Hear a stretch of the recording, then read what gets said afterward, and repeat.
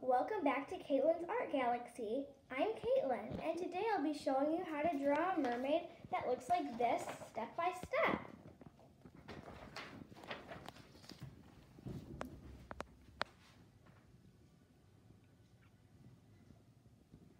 So the first step is to take a marker or a pencil or anything that you would like to draw with and draw a U shape just like that. And then instead of it being even, we're going to leave it like that. Then we're going to draw an S line, just like that. And then we're going to connect that line, make another one, and end with a C shape, connecting to the face, just like that.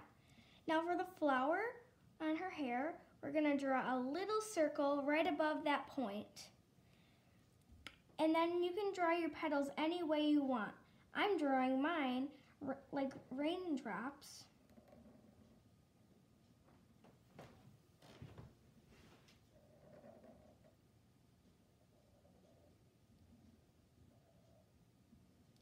Then after that, we're going to draw some lines in the petals for detail. And then after that, we're going to draw her first strand of hair. So for that, we're gonna go with the flower and then make a line down connecting to that little S line that we made, just like that. And then you can draw another little line, just like that.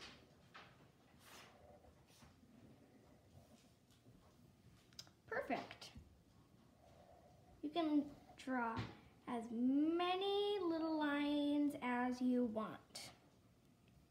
And then we're going to take, we're going to go in the middle of that C. We're gonna go up, connect into the flower, just like that. You can add some lines in the hair if you want to. You can add as many as you want. There. Now, we're going to draw her eyes, her nose, and her mouth. So first we're gonna do the eyes. So for the eyes, we need to draw two circles right next to each other, about right there in the face. Just like that. Try to make them as even as you can. And then we're going to draw an even smaller circle inside of the bigger circles, just like that.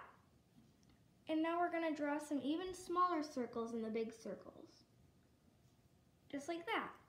Now we're gonna color in the bigger circles. Make sure not to color in the littler circles that you made.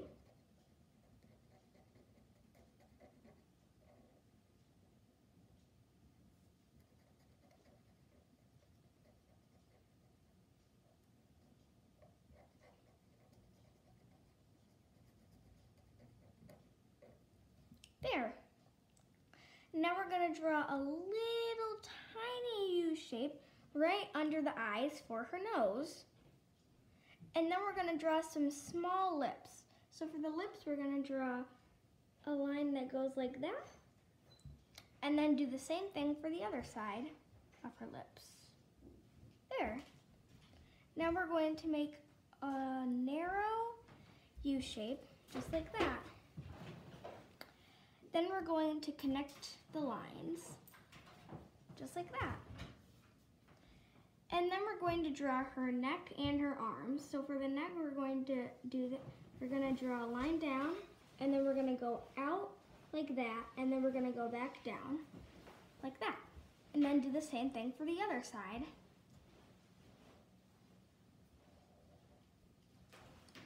After that, we're going to draw some leaf shapes, shapes connecting for her top. We're gonna draw a rainbow shape like that, and then a U shape connecting, like that. And we're gonna do the same thing for the other side.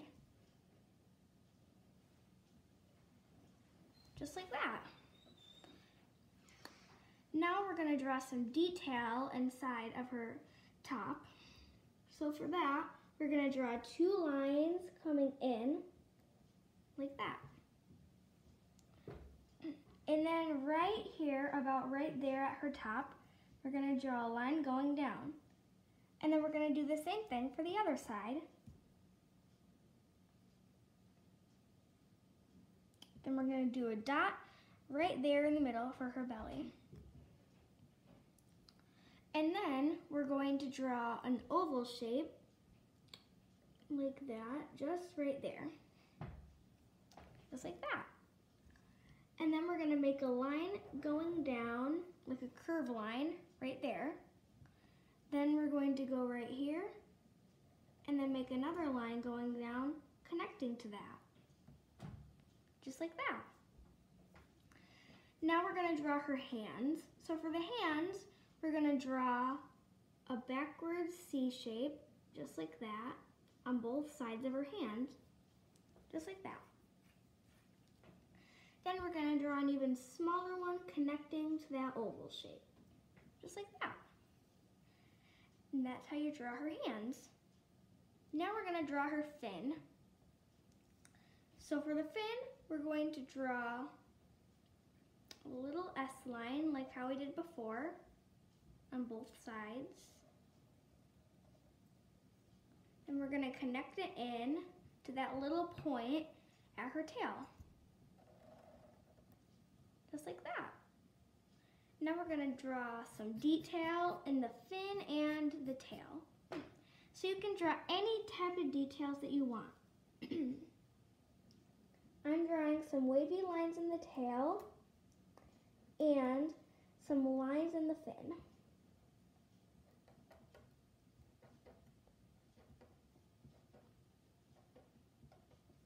Now to finish it off, we're going to finish her hair. So we're going to draw another line, just like that, going in.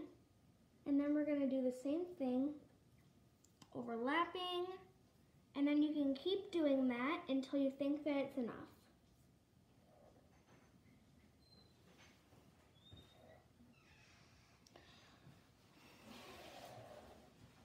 There. Now for the final touch, we're going to draw some lines if you want to. You don't have to draw that many.